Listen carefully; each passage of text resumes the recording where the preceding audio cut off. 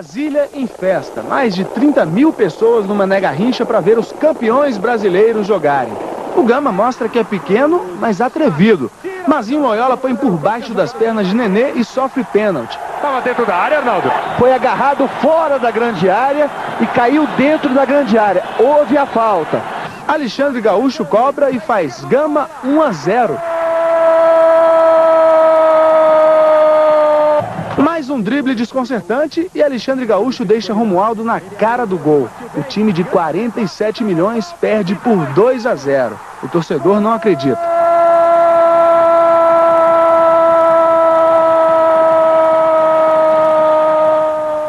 Mas aí o Corinthians justifica o investimento.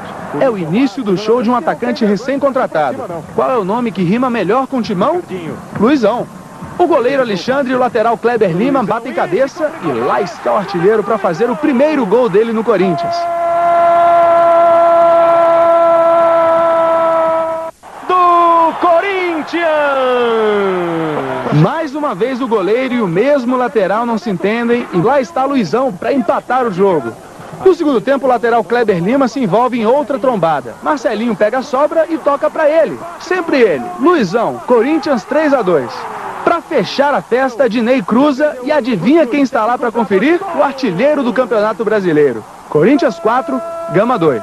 Vencer de virada, fora de casa e fazendo quatro gols, Luizão não podia ter pedido uma estreia melhor. A gente sempre sonha, né? Sempre tem que sonhar com isso, com a ajuda da minha família e conseguir fazer os gols hoje. Eu acho que é a recompensa de um trabalho e de uma luta que começou desde 90.